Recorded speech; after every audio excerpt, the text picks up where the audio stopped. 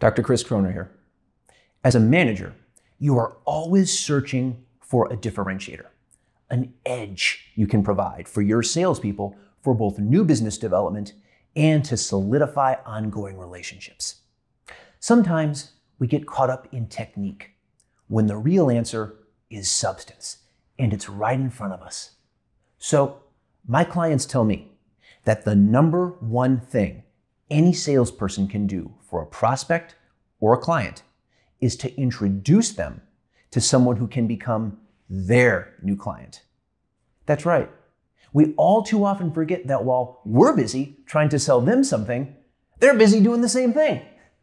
This is particularly effective when we're talking to senior people, and particularly business owners who have a passionate stake in the income side of their businesses. Law firms have traditionally been very good at this. Yes, they pitch their legal services, but the most influential law firms spend a lot of time connecting the people in their networks to one another. And often, a client will choose a law firm for both its legal expertise and its prestigious roster of clients and people the prospect may get a chance to meet. As a sales manager, it can be a worthwhile endeavor to go through your client list with your salespeople and see who it might be productive to connect.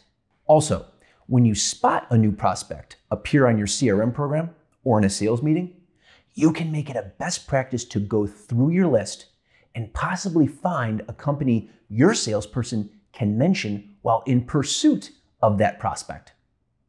Often, making a sale comes down to one or two memorable differences between competitors.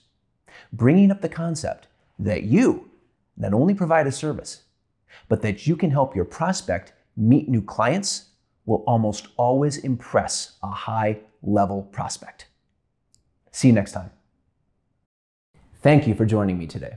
If you like this video, please make sure to subscribe to my YouTube channel right now.